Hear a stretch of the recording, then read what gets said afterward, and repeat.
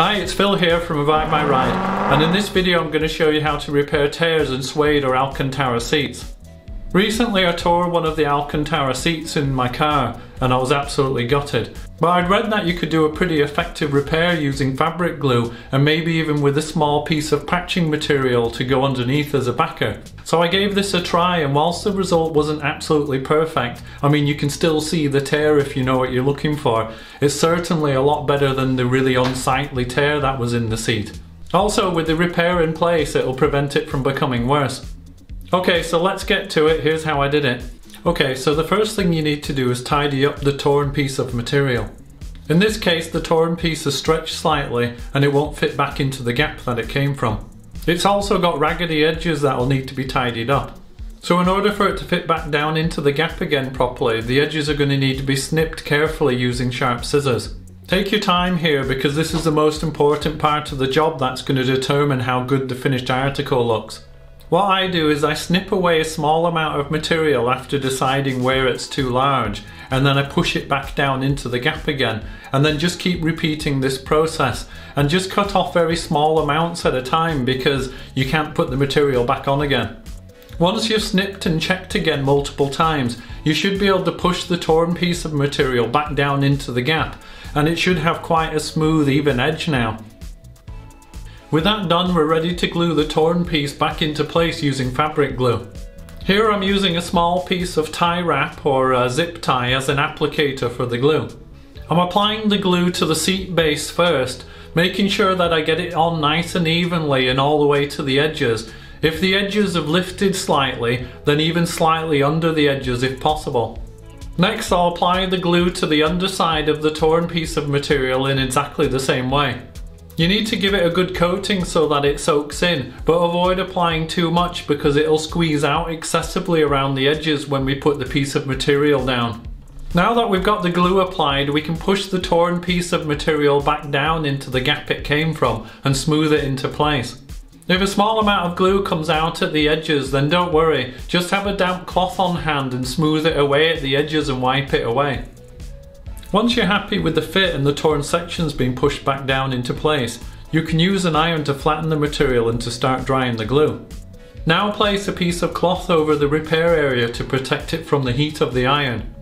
With the iron set to a low heat, gently move it over the repair area and smooth the material down until the glue starts to set. I found it easiest to start working on half of the torn section first and once it was ironed down and flat to move on to the rest of it.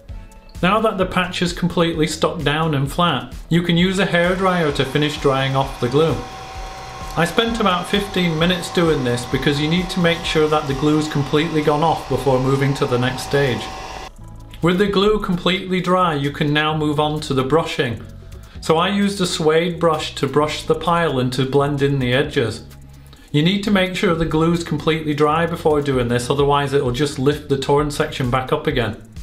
With the brushing completed, you can now just move to smoothing down the area by hand and removing any excess fluff. So that's the repair completed and from a distance you can't really see the edges of the repair at all. And now it isn't at risk of tearing further. Okay, so what you've just seen me do is a um, an Alcantara seat repair if the top layer's uh, been torn and the backing fabric's still in place. So obviously what you have to do is what I've just shown you is tidy up those edges and you know get it glued down really nicely. Um, but what if the uh, backing uh, fabric was torn as well? So this is what it'd look like, that would be the foam there. Well, in that case, what you need is you just need a nice um, thin piece of fabric that has a nice backing surface on it. And you cut it to shape, about 10 millimeters larger than what the tear is. You don't want it bigger than that because in a minute you're going to have to reach under and smooth it out all out so that you can't see the edges.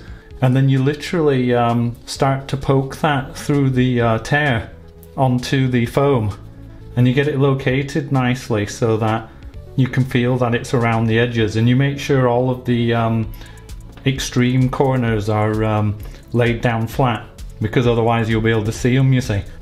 And once you've got that how you want it, then all you have to do is what we've just described So you apply some uh, glue to your, um, in this case, a little piece of uh, cable tie, and you pry up the edge slightly, and you apply the glue all around the edges. So you kind of reach under there and, and do all of the edges like that. But you're not doing this piece at the moment, you're just doing the patch.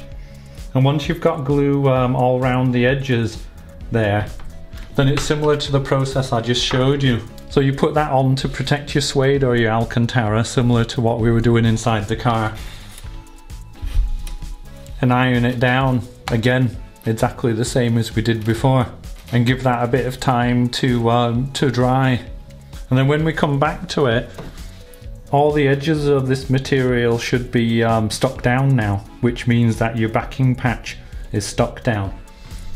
And then it's just the same as what I've just shown you. So you would tidy up those edges and get, and then now you would go ahead and glue the patch itself. As always, all tools and materials used will be in the description below. If you liked the video, then please give me a thumbs up. And please remember to subscribe and click the bell if you want to see more of my videos. And thanks for watching, I hope it helps some of you out there. Okay, catch you next time.